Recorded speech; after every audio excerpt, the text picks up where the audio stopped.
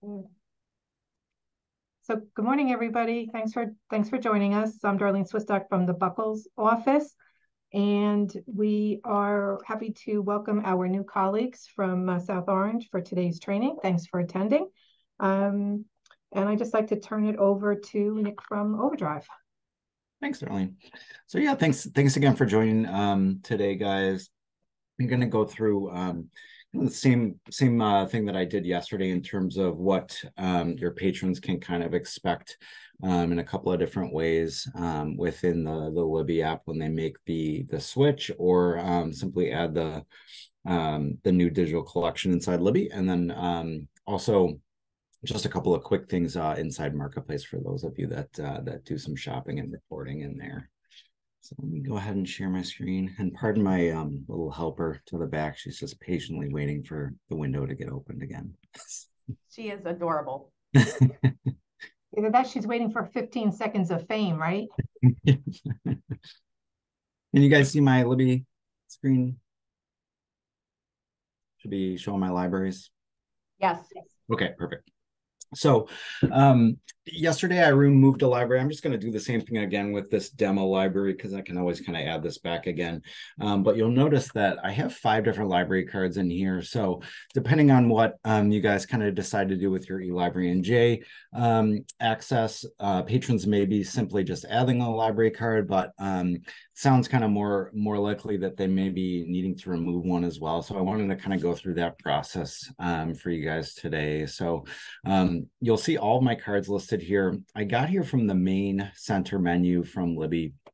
If a patron goes to libbyapp.com, um, they can um, sign into Libby using a setup code that they get from their phone. So if it's easier for them to do this on a computer, they certainly can.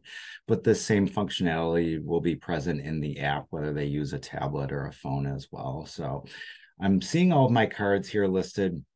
I'm going to remove this look at Libby one. So if, you know, if we're kind of pretending as far as the example goes, this, this would say uh, eLibrary NJ for your patrons. They're going to click manage cards. And then the key is kind of remembering what color that card is. It should have a logo here on the corner of the card as long as the card's verified. So if I click on this, it's going to show me this Libby icon. I know that's my look at Libby card here.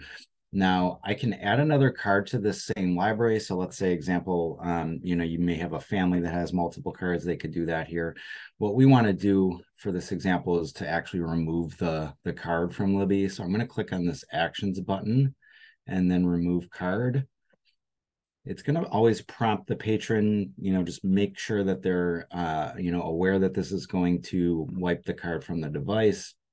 I'm going to remove this card and then if I go back, you'll notice that that library is gone.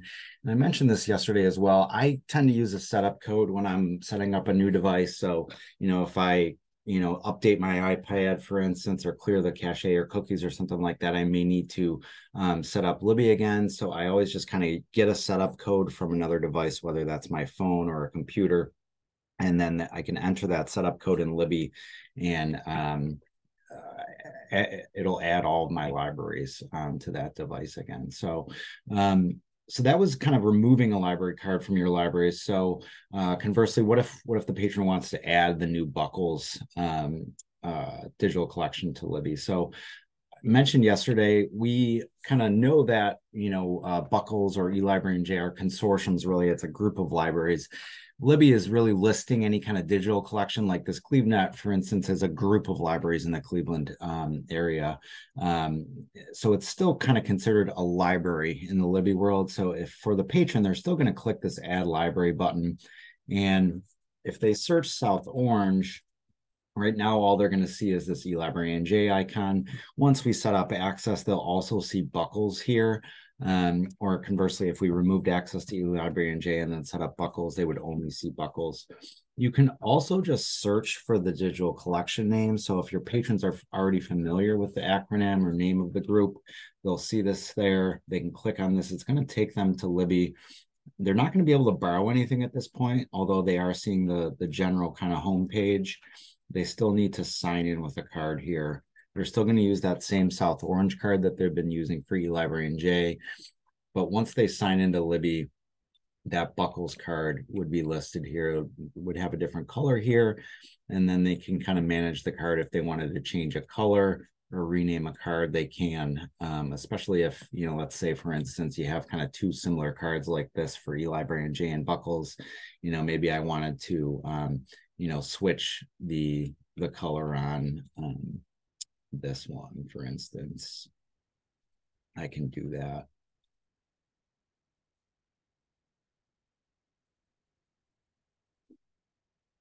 So that's kind of the the key differences for patrons when they're going to be going to add uh, the new digital collection or, or in Libby terms, their their new library inside of Libby. Um, as far as other changes inside the actual app for patrons, the big thing is um, kind of mentioned yesterday that a lot of your patrons likely have um, cards at multiple libraries right now. So, for instance, CleveNet's my main library. It's located right down the street from my apartment. Um, so this is the one that I kind of tend to use. Um, I try to use um, whenever possible, but maybe sometimes when I'm searching for something, um, you know, it could be uh, a situation where another library has um, a title a little bit sooner that I also have access to. So if a patron's kind of unfamiliar with with having more than one library card uh, in Libby, this may look a little bit different. So this example is kind of a good one in terms of availability. She's got a lot of titles. So you can see most of these are showing the CleveNet color uh, library card color icon here. And then once we get down to this one here, it's showing this other library card icon, likely because this might be on hold or not available in my in my other library. So if I click here, it's going to show me, okay, well, my main library a couple of people already have this checked out. And then my other local library, the county library system, uh, actually has five or six copies. So if, for the patron, it's always going to show them the best possible circ action is kind of what we call this functionality. So that's an additional kind of um, you know feature or uh, benefit that the the patrons are going to see if they have multiple library cards uh, within Libby. So that's just kind of the other difference that patrons are going to experience if if perhaps um, you do go with that option of adding um, uh, BCCLS in addition to eLibrary NJ. And then I wanted to hop in a marketplace as well um, quickly and show you one or two quick things, but I wanted to see if if there's any questions on the the Libby portion for for patrons before I did that. Um, Nick, I was hoping you could just repeat what you said about managing when a patron gets a new card from eLibrary and NJ versus BCCLS, because I think the staffer who had that question is here today. Absolutely. Yep. So let me share my screen. So in Marketplace, most of you guys are probably familiar with the support tab. Um, this is where you can do um, some things like enter technical support, invoicing, authentication support tickets. It's also where you see all of our contact information as far as my territory team goes. If you're currently within eLibrary J right now, you have the capability of merging user IDs, which can come into play uh, at times if you're giving a patron a new library card and they've already had some activity within Libby or Overdrive in the past and they don't kind of want to lose that history or current holds or checkouts. This is a function that you can actually merge the barcodes from that old one to the new one. However, with eLibrary NJ, any um, librarian or most librarians will have access to this um, this functionality in Marketplace. However, in, in BCCLS, if you need that done, you do need to send it. Um, is it Margaret? Is it just you and Dave? Uh, yeah, Dave's taking care of it right now, but you have to send a support ticket because I think what you said was doing it in eLibrary NJ doesn't actually do it for BCCLS. It would not transfer over, no.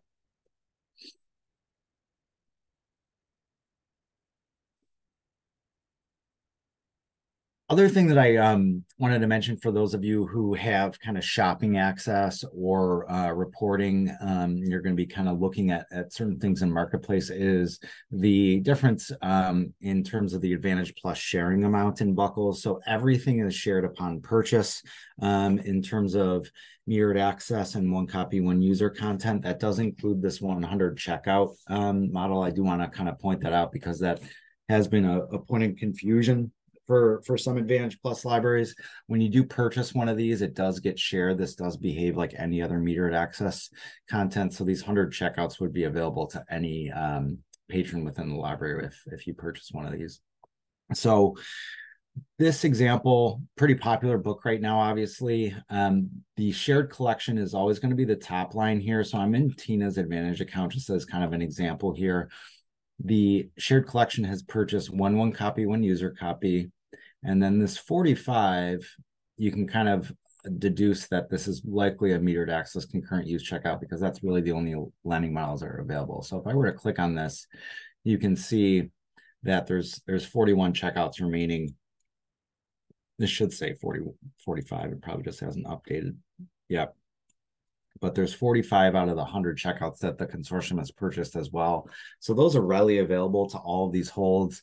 They've been delivered to to anybody that had an active hold, and it's just kind of on the patron to decide whether or not they want to suspend the hold, like these 41 have have done, borrow the the title, or cancel their hold. You'll also also notice this Advantage Plus number here, which means that another 20 libraries have shared units of this title. Um, so all of these have been purchased in the last, looks like five uh, months or so since the, the title was released. And those are all available to patrons as well. If I had purchased any on my Advantage account, so let's say, for example, if South Orange, if you were to purchase um, uh, a one copy, one user uh, the title or copy of this this title, it would show up as a one right here, and then that would also show up in this Advantage Plus um, line as well, because this is a total of all the shared copies, as you can kind of see here. So you're probably going to notice quite a bit more shared copies in this line, um, even though eLibrary NJ, um, I know Tina and I work together to, to get quite a few libraries to share a lot of content. Um, it's just an automatic sharing that that happens at BCCLS, which um, so you're probably going to end up seeing quite a bit. Like you can see here, another popular title with a lot of shared um, copies there. So really not much different outside of that um, in terms of what you're used to seeing as far as your Advantage account goes um, in Marketplace. Everything's really the same. Um, it's just the uh, the additional amount of shared copies that that happen within within BCCLS versus eLibrary NJ.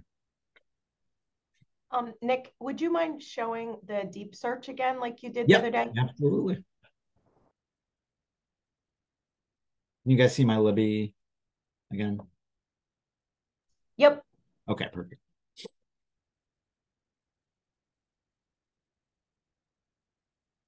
So if I search right now, um, it's showing me that I'm active in this CleveNet library. So can use that example again if, if a patron had um, both BCCLS and eLibrary NJ um, in their um, in their Libby so if they search for this is just a random golf author I've been using as an example because he doesn't have a lot of titles that are owned by libraries. You'll see right away, um, just like I kind of showed with that Macomber example, this this is already presenting me a different option than this one based on the availability. I'm guessing that CleveNet probably hasn't bought this title because it's pretty new. They have one copy, so it's just a longer wait time for this one. There's probably just more people waiting at at my local library than the other one. Now you'll also see this deep searching is available in the filters of this list. This is coming up um, because the results of this search are less than 100 with that Debbie Macomber search that i did the results were 500 plus. So libby's just automatically going to perform a deep search if the results are 100 or more. But if it's uh, 100 or less then it, i actually have to physically activate the deep search so you'll see this option here it's also available in the in the search filter icon. So if I click this, it's going to open that filter and then I can activate deep search. It's going to show me these 13 titles that I'll now probably see some additional. So there's that other library card option, another library card. This is another title that wasn't owned by either of those other libraries uh, at first and then you'll see the option to place notify me tags on some of these other titles that were opened um, or found as a result of that deep search. And tag this one actually. So um, kind of similar to the McNamara example, you'll still see that best possible search action, um, but when there's a hundred or less um, total uh, results, you'll have that option to perform the deep search and then get additional results, whether that be um, at another library that's inside Libby or um, titles that aren't owned that meet the search criteria. Now, I didn't ask this last time, but I am curious, um, does that notify the library that the patron's interested in that title as well? It notifies every library. So that'll, if uh, one of our digital content librarians goes to purchase in my digital library, they're going to see that tag in there. Chances are they're going to buy that book.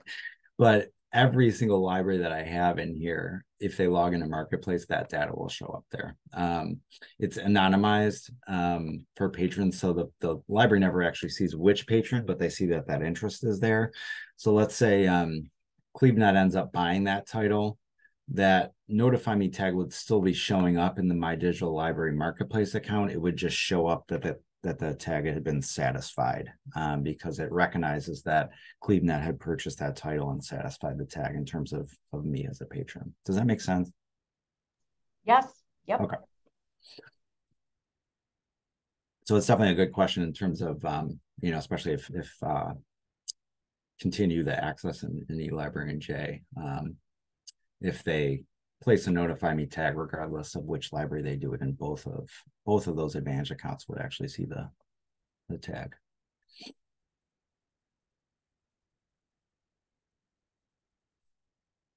Any other questions on either the marketplace and or or libby? And i think i showed this let me share one more thing. I think i shared this yesterday um, i'm going to be kind of summarizing a couple of things from the, the Libby help site. Just as a reminder, patrons can always get here really easy from this get some help right from the main menu. They'll get a link to the help site. Um, but right here under cards, there's just a couple of quick articles in terms of removing a card with nice screenshots and then adding a library as well. So I'm going to put that um, together for you guys in a Word doc, um, just to that you can kind of have or distribute if you want. Um, but then patrons will always have access to this themselves through the app or, or online as well. Hey, Nick, mm-hmm. it's Darlene. Uh, would you would you mind just going to the Overdrive Resource Center and highlight that like you did? Absolutely. Was there something on the Resource Center that that I brought up yesterday? I don't remember. Um, just, remember. I guess, just a reminder what what's available because there's what's available here. Yeah, absolutely. information. yeah, I love. This is probably the my favorite thing that that we do um, for our partners overall. There's just such a ton of uh, great content, whether it's training or marketing materials. So, for instance, marketing and outreach, we have this survey that you can complete at any time to be shipped a, a Libby marketing kit. There's always very very timely you know mag- this, we had a new magazine update. They're kind of going bonkers in terms of circulation. There's a marketing kit specifically for magazines here. Uh, book club autumn marketing lots of things that you can add for social you know whether it's email blasts facebook marketing things. If you want to update graphics on your website there's all kinds of things like that here um, if you're looking for additional training the library staff training section has really nice.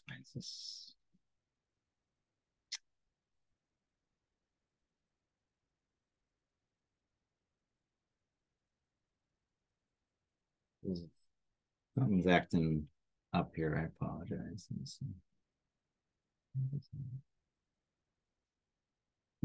There we go. So the training section will always show upcoming webinars that we have going on. We do these how to train your community on Libby, which is always a nice, nice one for getting uh, folks started. Or if you have staff that's not um, super familiar with how to use the app or troubleshoot. Um, and then there's always kind of um, specific ones on different types of content. We do uh, sporadic ones on introduction and marketplace. Um, this is quite similar to the ones that I've done for BCCLS um, in the past. And then there's always on demand webinars as well. So we just did one that kind of went through the new magazine um, interface for patrons uh, a couple of weeks ago. There was one that was done on, um, you know, spreading budget out, whether that's using CPC or metered access concurrent use, variety of kind of tips and tricks in marketplace. Um, getting started with, we do these sporadically as well. And then the how-to section has a variety of things, whether it's anything that you could possibly want to learn on marketplace to um, really kind of the nitty gritty of, of using the the app itself. Um, and then for those of you that, that have Kanopy, uh, there's stuff in here as well. We've migrated migrated all the Kanopy um, marketing materials and, and resources to this this as well. So, um, but I'm always happy um, to go through stuff one on one with you if you have kind of specific questions in marketplace, something's not looking right to you, or if you just kind of want to go over something one on one more in depth. Um, always happy to, to jump on a Zoom call and, and do that with uh, whoever needs um, help. So.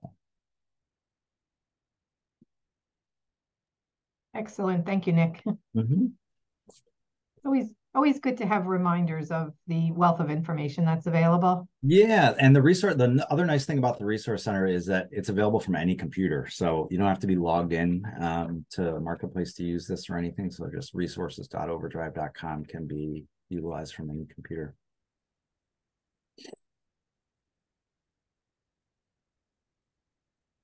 Anyone else have other questions at all?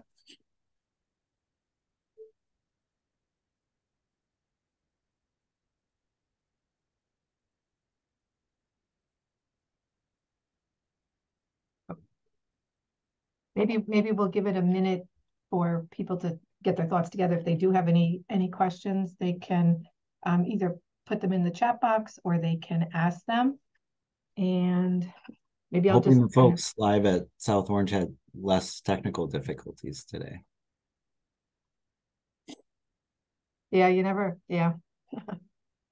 always, it's always, it's always interesting, you know, the, the, the gremlins seem to be hard, hard at, hard at work.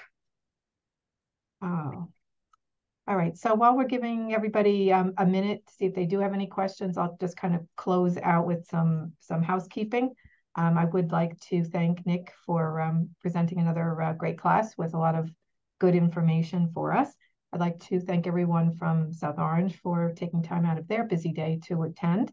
Um, we will be sending, um, I'll be sending a post-event email with an evaluation form for today's class. We will also share the recording with you if you have any questions. Um, the evaluation form is especially important because we ask for feedback on this topic as well as future topics that you would like to see. So if you could just take a minute to respond, that would be greatly appreciated. It is, it is anonymous and your feedback is very helpful. So I don't see anything. Should we give it a, a 10 second countdown, Nick, before we uh, say class is dismissed. Appreciate everybody's time, and if and if you have something that you think about later, or just feel more comfortable asking me one on one, um, don't hesitate to reach out. Awesome. Thanks so much, Nick. We appreciate your uh, your time and your expertise.